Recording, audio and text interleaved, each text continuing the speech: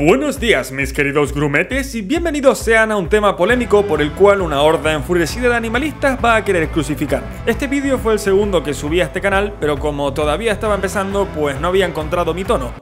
y sonaba más monótono y aburrido que el electrocardiograma de una piedra. El día de hoy quiero abrir el cajón de... mm, ¿Maraca?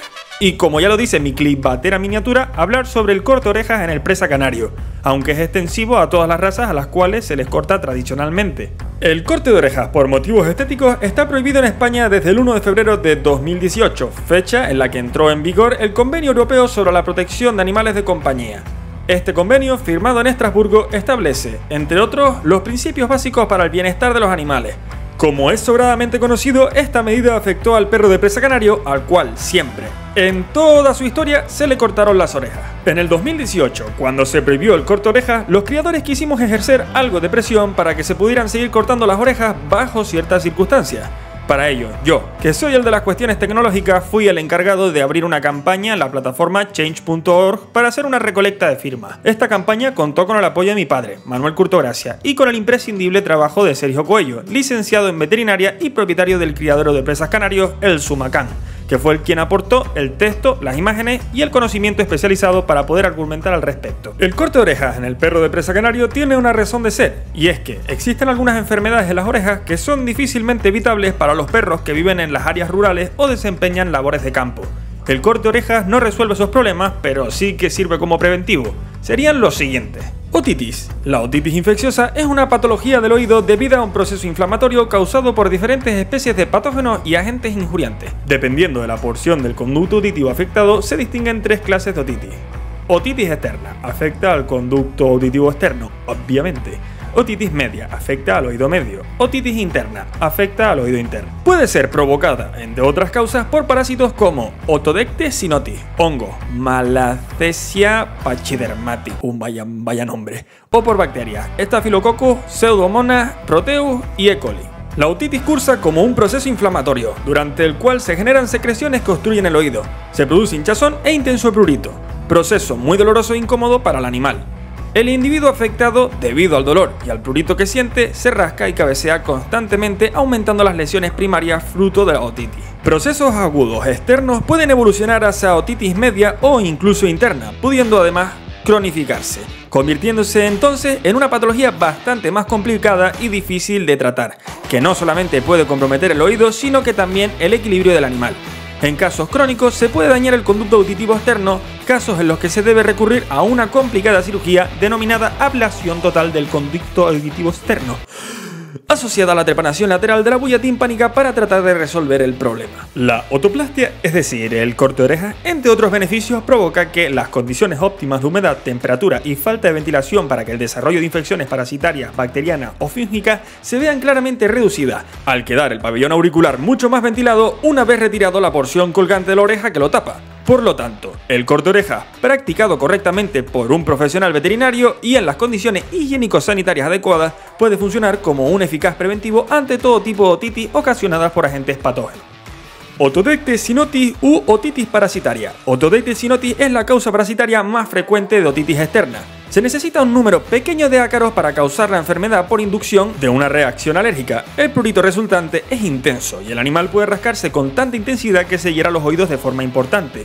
Las orejas colgantes siempre son un factor predisponente para este tipo de infecciones parasitarias, puesto que crean dentro del pabellón auricular condiciones óptimas de temperatura, humedad y poca ventilación para el desarrollo de este ácaro. Con la otoplastia, al despejar el pabellón auricular de la parte colgante que tapa el mismo, se eliminan las condiciones ambientales predisponentes para este tipo de infecciones parasitarias. Otohematoma es una acumulación de sangre en el interior de la oreja originada por la rotura de vasos sanguíneos dentro de la misma. El otomatoma da un aspecto inflamado de naturaleza fluctuante y de aparición aguda que se localiza en la cara interna, es decir, convexa, del pabellón auricular. Es habitual en perros. Puede estar afectada toda la superficie convexa, como en el caso de la foto, o solo parte de ella. En cualquier caso es muy importante valorarlo como un signo secundario de un conjunto de afecciones originadas a la necesidad de sacudir la cabeza o rascarse con las patas. En la mayoría de los casos existe una otitis externa o media como causa principal, así como el prurito intenso de una autocardiasis o el traumatismo entre otras causas. La autoplastia en perros en los que les cuelga la oreja reduce las condiciones ambientales predisponentes para sufrir una otitis, por tanto reduce considerablemente la predisposición a sufrir autohematoma. Además, el corte de orejas también reduce en un alto porcentaje la probabilidad de sufrir traumatismos de las orejas, sobre todo en perros de utilidad o perros que habitan en zonas rurales. La resolución de un autohematoma pasa la mayoría de las veces por llevar a cabo, aparte de diagnosticar la causa primaria y resolverla si fuese necesario, un proceso quirúrgico para drenar y evitar recidivas o complicaciones que puedan dañar la oreja de forma irreversible. Moscas. En el medio rural, los perros, al igual que otros animales que viven en el exterior, se ven sometidos a la acción de insectos como, por ejemplo, las moscas. Las moscas se reproducen y actúan sobre todo cuando las temperaturas son más altas, viéndose favorecidas por ciertas condiciones de humedad en la atmósfera, así como lugares donde existen concentraciones de animales, como explotaciones ganaderas o material vegetal como explotaciones agrícolas. Entre la primavera y el otoño, estaciones donde la población de moscas es más alta, los canes sufren molestias constantes y mordeduras, fundamentalmente en el borde de las orejas, por acción de estos insectos. Dichas mordeduras pueden llegar a traer consecuencias como heridas sangrantes, úlceras y alopecias en las orejas. Los perros sufren molestias, prurito y dolor debido a estas lesiones y la consecuente acción de rascarse, lo que agrava a su vez dichas heridas. El corte de oreja, al reducir la superficie del colgajo, ayuda en gran medida a proteger a nuestros amigos de la acción perniciosa de estos insectos, pues ya no se posan sobre ella, impidiendo así las molestas mordeduras. Hay que tener en cuenta que el medio rural presenta diferencias con respecto al medio urbano para la vida de los animales de compañía. Muchos perros realizan funciones necesarias para el hombre y deben estar perfectamente acondicionados para la vida en el exterior. Estas son las razones clínicas por las cuales el corte orejas resulta beneficioso en el perro de presa canario. Tengamos en cuenta que el perro, a pesar de descender del lobo, es un producto de la selección humana. Muchas de las características que tienen los perros no se darían en la naturaleza. Una de ellas son las orejas caídas. Si nos fijamos en todos los cánidos salvajes, todos tienen orejas erguidas lobos, chacales, coyotes, dingos, licaones, zorros, etc. La autoplastia hace que la oreja se vuelva rígida como la de los cánidos salvajes, permitiendo una buena oxigenación y mejorando la audición. Yo defiendo el corte de orejas en perros de campo, pero bajo mi punto de vista, un presa canario que viva en la ciudad no tiene la necesidad de tener las orejas cortadas. Ahora voy a entrar en una parte más delicada, y digo delicada porque estaría entrando en el terreno sensible de algún animalista, en el mal sentido de la palabra, que se ha perdido las clases de filosofía.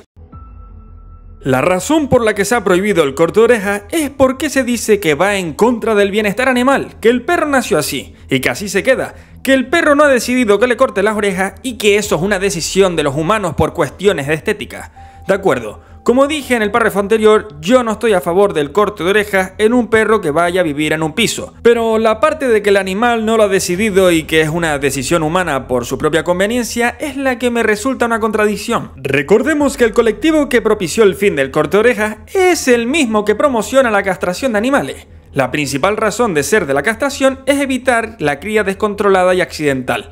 Además de eso, en el caso de las hembras, reduce las probabilidades de tener cáncer de útero y en el caso de los machos, que dejen de mostrar comportamientos no deseables provocados por las hormonas. Me parece que si eres algo avispado, has localizado la incongruencia.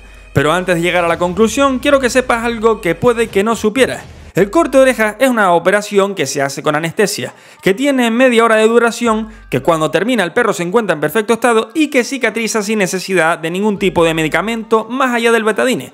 La castración de una perra supone que retiren de su cuerpo los ovarios, el útero y las trompas de falopio.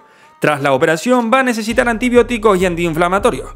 La recuperación es más lenta y al suponer un cambio hormonal, el animal engordará, por lo que además de ahora en adelante necesitará una dieta específica. Vale, ahora la conclusión. El corto orejas de un perro de campo es una operación sencilla que conviene al animal. La castración es una operación mayor que conviene a los humanos. Ambas son operaciones que no ha decidido el perro. ¿Por qué una sí es válida y la otra no? No estoy diciendo que no esté de acuerdo con la castración, ahí no me meto ni me quiero meter, la verdad. Simplemente estoy haciendo una comparación para mostrar que los argumentos que se han utilizado para prohibir el corte orejas no son válidos. Obviamente, todas las personas normales de este mundo están a favor del bienestar de los animales. Si se ha prohibido el corte oreja es por desinformación de la población en este aspecto. Si a ti te dicen que existen individuos que le cortan las orejas a los perros, pero no te explican la razón de existir de esto, pues claramente vas a estar en contra. Además, para hacer que la población se posicione en contra de la autoplastia, se han utilizado estrategias de neuromarketing. Se habla de amputación, que es una palabra más fuerte, y se enseñan fotos de perros con las orejas cortadas por improvisados en sus casas, mostrándose casos en los que el perro no tiene orejas o que al no gustarle al propietario decide tirar al moribundo animal en un contenedor. Para prohibir la castración, podríamos decir que a las perras se les amputan los órganos y mostrar fotos de perros obesos o de perros muertos tras la castración o de perros con un elástico en el escroto y los testículos necrosados. No tengo por qué describir todos los detalles específicos que engloban esto del corte oreja. He decidido ser práctico y abordarlo de la manera más simple y objetiva posible.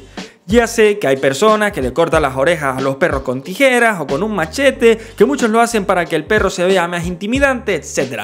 No estoy a favor a nada de esto tampoco, pero me parece que el punto se ha entendido. Y bueno, hasta aquí el vídeo de hoy. Si te ha gustado, deja tu opinión en la sección de comentarios, dale like, comparte con tus amigos y sígueme en mis redes sociales que las dejo en la descripción de este vídeo. Un saludo y hasta pronto.